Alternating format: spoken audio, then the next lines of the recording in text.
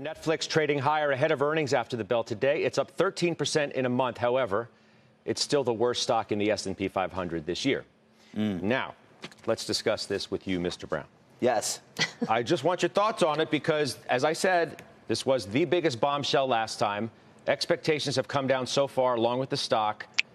Give me the mind of the investor going. Yo, in. but let's keep it real. Like I bought it after it blew up. Like let's not yeah, act like I'm a, like no, I'm no, no. Netflix. But, but what's the mind I, am bag holding now? a bunch of stocks. This is not one of them. What's the mind of the investor now? You know, irrespective of whether you bought it before, they probably lose. Before, you feel horrible. All right, they probably they probably lost two million subs. Those are the expectations. Okay, if they lost three million subs, the stock is going to violate uh, 185, which has been support. It has bounced off of that level, or 180, I should say.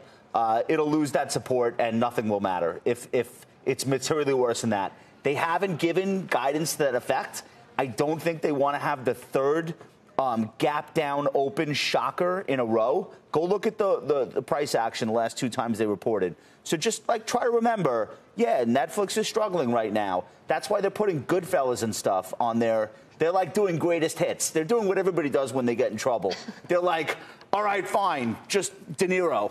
I, I would be doing the same they thing. have I'm stranger even... things, but the, even the Bulls say stranger that can only take you so far. Stranger Things was a monster, though. Yeah, and monster. here's here's the history of Netflix. In the past, when they've had a massive show, a new season, a streaming record, it has been good in the in the next quarter for um, lowering the churn rate and bringing in new subs. And Stranger Things season four debut and all of the streaming records that they broke. Um, here, I think they did 930 million hours in the first 28 days. Like, I think there could be some carry forward on that. The most expensive movie they've ever made, called The Gray Man, that's with Ryan Gosling, which I will not personally miss. I doubt Steph will either. That's next week. They're predicting big things. So the programming, in the end, the mm-hmm. content, it really does matter. The last thing I'll say on Netflix, and I've said this before, Going to Microsoft for the ads is very interesting. Mm-hmm. If you know the history of Silicon Valley, Microsoft helped Facebook build an ad platform from scratch back in 2007. Um, that to me is the most interesting thing. Forget about how many subs they add or you lost think the, the ad quarter. platform is going to work? I don't think we're going to see it until early next year. Yeah. But I think there's going to be a lot of hype around it. And there was a piece in the journal today about how excited the advertisers are. Of course. What's interesting about the Netflix ad platform is they're not going to have that many subs for it on day one, but that's the growth opportunity. Hmm. Like not starting off throwing ads in everyone's face, but saying, yeah, I just think of the user experience. That's what I think that it's going to really. It's working for Peacock. It's working for you know there's several platforms. It's it's actually helping them. It's a different tier of audience, and it's an audience that Netflix historically has been giving itself away to for free. Let me ask you These this. are people sharing passwords. Let me ask you this. Did you buy the stock mm. because you saw the roadkill and you said too good of an opportunity to miss now?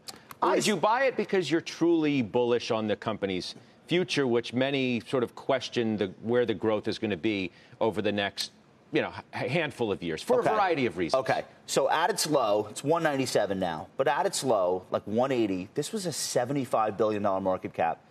There are actually companies on earth that like strategically could be buyers of Netflix. I felt even that, with regulatory stuff. Yeah, I mean, you know, Zuckerberg can't buy it, but yes, um, I felt that at that point in time there was enough strategic. This is the biggest platform in the world.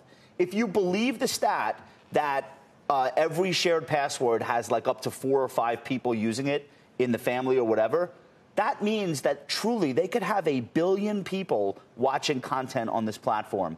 So I felt that the stock had been de risked, even if you think they're going to be in a knife fight with Disney um, and, and Amazon Prime. Well, they are, but they're going to have to spend more. Even if you think that goes on for two years, it's still a huge audience. Now, what, what, what would make me change my mind? Yeah. If there is such a substantial delta between how many subs they really lost this quarter and what Wall Street was expecting. So if they say losing 2 million, they lose 5 million. I'll probably be out of the stock. I didn't buy well, it. You want a flood of other people. No, sh- yeah. I mean, stranger things have happened. No, because I'm not. Good catch. No, Good no, no. Because I don't. Warning care. light. Because in, in this the is the new warning light. In the end, I went there, into it as a trade. I, to- I told you my um, my predetermined like this is my off ramp.